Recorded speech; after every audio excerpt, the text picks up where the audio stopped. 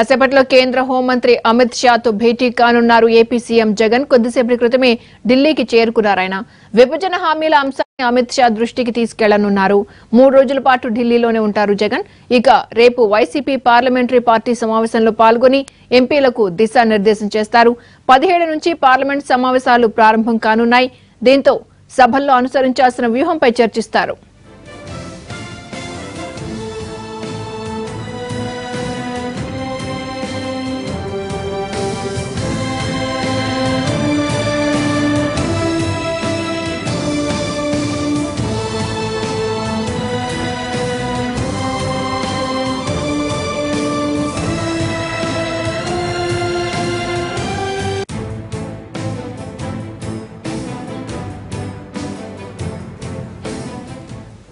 కాసేపట్లో కేంద్ర హోంమంత్రి అమిత్ షాతో భేటీ కానున్నారు ఏపీ సీఎం జగన్.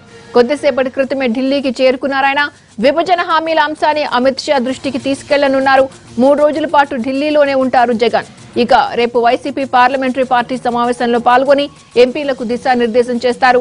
పదిహేడు నుంచి పార్లమెంట్ సమావేశాలు ప్రారంభం కానున్నాయి. దీంతో సభల్లో అనుసరించాల్సిన వ్యూహంపై చర్చిస్తారు.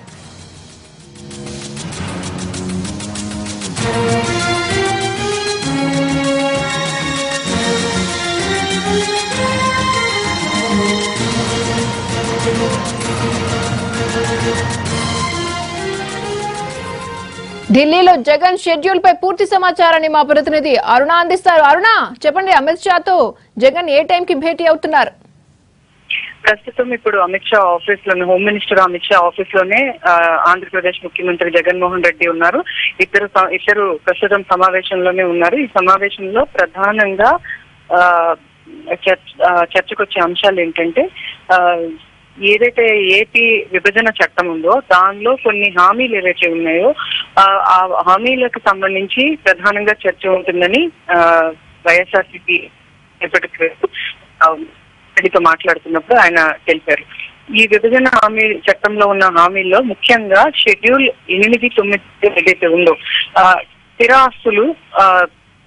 ఆంధ్రప్రదేశ్లో మూవబుల్ ఆస్తులు మాత్రమే వస్తాయని. అంటే ఉదాహరణకు ఒక సహకార బ్యాంకు బ్యాంకు హెడ్ క్వార్టర్ కనుక హైదరాబాద్లో ఉన్నట్లయితే ఆ బ్యాంకు లో ఉన్న ఆంధ్రాకి సంబంధించిన ఖాతాలు ఖాతాదారులు మాత్రమే బదిలీ అవుతాయి. కానీ ఆ బిల్డింగ్ మాత్రము ఆ హైదరాబాద్లోనే ఉంటుంది.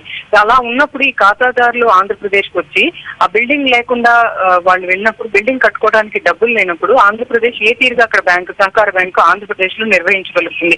ఇట్లాంటి సమస్యలు ఉన్నాయి ఆర్థిక పరమైన సమస్యలు. దానికి సంబంధించి ప్రధానంగా ఈ రోజు ఇక్కడ ఆ, హోమ్ మినిస్టర్ అమిత్ షాతో చర్చిస్తా చర్చించే అవకాశాలు ఉన్నాయి. అంటే పర్టికులర్గా ఈ విభజన చట్టం ఏదైతే ఉందో ఆ చట్టానికి సంబంధించిన కొన్ని అంశాల వలన ఆంధ్రప్రదేశ్కి నష్టం జరుగుతోంది. దాన్ని వీలున్నంత త్వరగా సవరించాలి అన్నది. ఎందుకంటే గ- ఈసరికి ఐదేళ్ళు అయిపోయింది.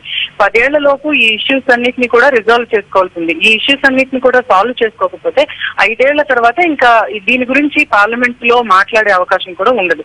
అందుకని పార్లమెంటు సమావేశానికి ముందుగానే ఆ, కేంద్ర హోంశాఖ మంత్రి అమిత్ షాతో సమావేశమై ఈ విషయాలన్నిటిపైన కూడాను ఆ, జగన్మోహన్ రెడ్డి ఆ, మాట్లాడడానికి నిర్ణయించుకున్నారు. ఇది కాకుండా రేపు ఆయన ఆ, ఆంధ్ర భవన్లో తన పార్టీ ఎంపీలందరితో కూడా పార్లమెంటరీ పార్టీ సమావేశం నిర్వహిస్తారు. ఈ సమావేశంలో ముఖ్యంగా ఆ, కేంద్ర ప్రభుత్వంతో ఈ విభజన హామీలకు సంబంధించి తొలి సమావేశం నుంచి కూడా ఆ ఇంత కొద్దిసేపటి క్రితం మిథున్ రెడ్డితో మాట్లాడుతున్నప్పుడు ఆయన చెప్పడం ఏంటంటే గాంధేయ మార్గంలోనే వెళ్తాము బట్ అన్ని మాకు కావాల్సినవన్నీ కూడా మేము సాధించుకుంటాము.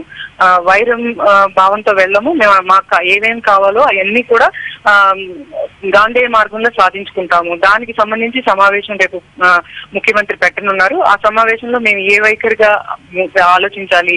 అలాగే మిగతా పార్టీలు ఏవైతే ఉన్నాయో ప్రతిపక్షంగా ఉన్నాయో. వాటిని ఆయా ఎంపీలకు కూడా తమకున్న సమస్యలను బ్రీఫ్ చేయడం. ఎందుకంటే ఆంధ్రప్రదేశ్ ప్రత్యేక హోదా అడిగిన ప్రతిసారి ఒరిస్సా కూడా తమకు ప్రత్యేక హోదా కావాలి అనే డిమాండ్ పెట్టే అవకాశం ఉంది. అలాగే బీహార్ కూడా ప్రత్యేక ప్యాకేజ్ గురించి మళ్ళీ బీహార్ కూడా కొన్ని డిమాండ్లు చేసే అవకాశం ఉంది. సో వీటన్నిటి నేపథ్యంలో ఆంధ్రప్రదేశ్ ఉన్న ఇబ్బందులు వీటన్నిటికి సంబంధించి అటు ప్రభుత్వానికి అలాగే మిగతా పార్లమెంట్ సభ్యులకు కూడా అవగతం అయ్యేలాగా వైఎస్ఆర్సీపీ ఎంపీలు వ్యవహరించాలి. ఈ తర ఈ తరహా ఒక ప్లాన్ ప్లానింగ్ కోసం ఆ, ఆంధ్రప్రదేశ్ ముఖ్యమంత్రి రేపు తన సొంత ఎంపీలతో సమావేశమవుతారు. అంతకంటే ముందు ఆ, కేంద్ర హోంశాఖ మంత్రి అమిత్ షాతో సమావేశమై ఈ విభజన చట్టంలో కొన్ని క్లాజుల వలన ఏవైతే స్థిరాస్తులు హైదరాబాద్లోనే ఉండిపోతాయి దానికి సంబంధించి ఎటువంటి విభజన ఉండదు అన్న మాట ఏదైతే ఉందో దాని వలన ఆంధ్రప్రదేశ్కి నష్టం జరుగుతుంది. ఈసరికి ఆంధ్రప్రదేశ్లో పలు ఆర్థిక అంశాలకు సంబంధించి పలు రకాలైన ఇబ్బందులు ఉన్నాయి కాబట్టి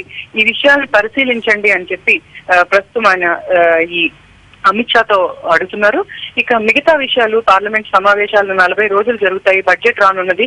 ఆ ఇవన్నిట్లో కూడా తన పార్టీ ఎంపీలు ఏ విధంగా వ్యవహరించాలన్న దానిపైన ఎంపీల దగ్గర నుంచి సూచనలు తీసుకుంటారు. అలాగే కొంతమంది ఆర్థిక ఎక్స్పర్ట్స్తో కూడా ఈసరికి మాట్లాడారని తెలుస్తుంది. వాళ్ళతో కూడా కొన్ని సలహాలు సూచనలు తీసుకుని మొత్తంగా పార్టీ ఏ విధంగా వ్యవహరించాలి అన్న దానిపైన మాట్లాడతారని చెప్తున్నారు చెప్తూ ఉన్నారు. మిథున్ రెడ్డి కొద్దిసేపటి క్రితం ఇక్కడ మాట్లాడుతున్నప్పుడు. అలాగే ఆయన్ని మరిన్ని వివరాలు అడిగినప్పుడు పర్టికులర్గా డిప్యూటీ స్పీకర్ పదవి గురించి కేంద్ర ప్రభుత్వం మీతో ఏమన్నా మాట్లాడిందా అన్నప్పుడు ఆయన అవుట్ రైట్గా చెప్తున్న మాట ఏంటంటే కేంద్రం డిప్యూటీ స్పీకర్కి సంబంధించి మాతో ఏం మాట్లాడలేదు. ఒకవేళ వాళ్ళు మాట్లాడినా కూడా ఆ పదవి పైన మాకేం ఆసక్తి లేదు. మాకున్న ఆసక్తి అంతా కూడా రాష్ట్రానికి ప్రత్యేక హోదా తెప్పించుకోవటం అని అని ఆయన చెప్తూ ఉన్నారు. ఆ, ప్రస్తుతం ఇక్కడ పార్లమెంటు సమావేశాలకు ముందు వైఎస్ఆర్ సిపి తన వంతు ప్రయత్నంగా ఆ, రాష్ట్రానికి సంబంధించినంత వరకు ఆ, కేంద్రం పైన అంటే వాళ్ళు చెప్తున్నట్లు గాంధీ మార్గంలోనే తాము అనుకున్నది ఎలా సాధించాలి అన్న దానిపైన ఫోకస్ చేసినట్లుగా కనిపిస్తుంది. ఓకే అరుణ.